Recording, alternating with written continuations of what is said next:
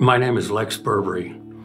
I served with the United States Marine Corps from 1970 to 1972 during Vietnam. No veteran ever serves for glory or anything like that. It's just, you get kind of just a, an urge, you know, it's just, it's kind of hard to explain. It's like a drive. I served with some real good people. There was a lot of teamwork, a lot of camaraderie.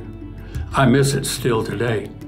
The world's so focused on me, and we're not focused on everybody else. And we really, we really need to think about other people. Consideration and compassion, you know, go a long way. The, the military gave me that.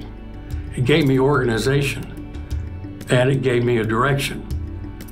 But always remember respect and be kind and compassionate. And it's stayed with me to this very day.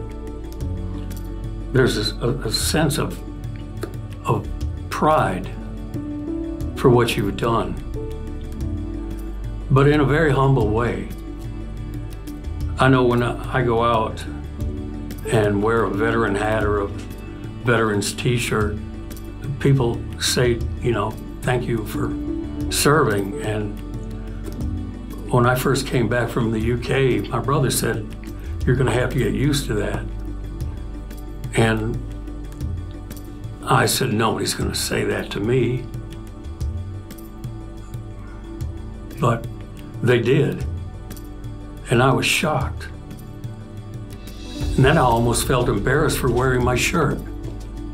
You don't really know how to react when somebody says that because you didn't do it for that to begin with. You just did it because you wanted to. I'm really glad I served. I'd do it again in a heartbeat. If they if they take me at 70, I'd go. But you know, we we just did it. We did it for the country and for the people and for freedom.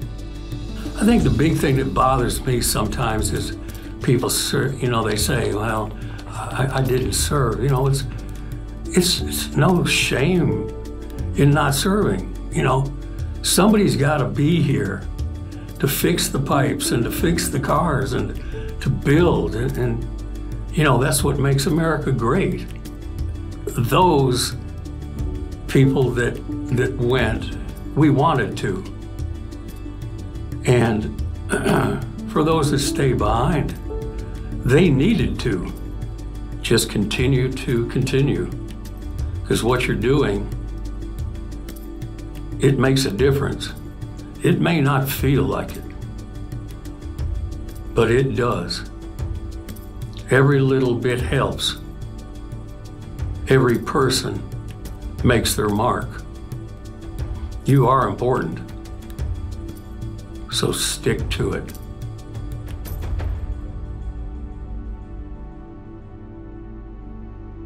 Let's just all pray that they come home safe. Let God be with them. It's a hard task, and you'll be changed. But just come home.